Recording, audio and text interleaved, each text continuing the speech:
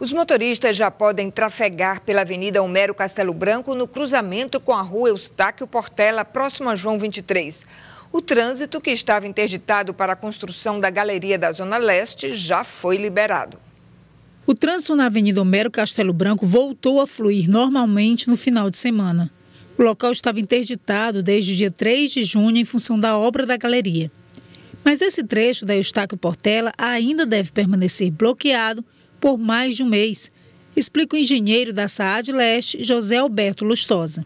Nós estamos fazendo a limpeza, porque ela carregou muito material de sujeira dentro dela e ela está mais ou menos com um metro e meio de terra dentro dessa galeria. Então nós estamos fazendo a limpeza através de uma bobcat e nós esperamos no máximo em 20 dias fazer essa limpeza toda, toda dela, fechar esse textinho que só de 2, 3 metros de largura para poder depois asfaltar daqui até a, a 250 metros de distância e a mais tarde também asfaltar até o dia 15 de agosto, que é a data da, da, do aniversário de Teresina. Foi a segunda interdição no local em menos de seis meses. No início do ano, a obstrução foi de quase dois meses depois que a servidora pública, Ana Sara, morreu, ao ter o carro arrastado pela enxurrada para dentro da obra.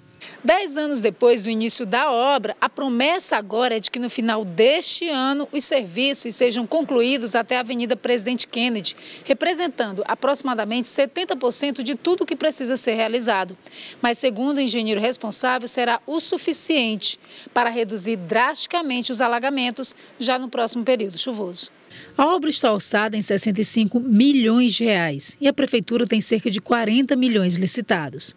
Para tentar agilizar os serviços, atualmente homens e máquinas trabalham em quatro pontos diferentes da Zona Leste, a exemplo da rua Professor Darcy Araújo, entre as vias Coronel Belisário da Cunha e Pedro Almeida. Mais um local onde os moradores ficam ilhados durante chuvas fortes. O trabalho é complexo exige muito cuidado para não pôr em risco a estrutura das casas no entorno, além dos serviços de necessidades básicas. Temos que tomar todo cuidado, por quê? Porque nós estamos passando de casa entre um lado e outro de casa.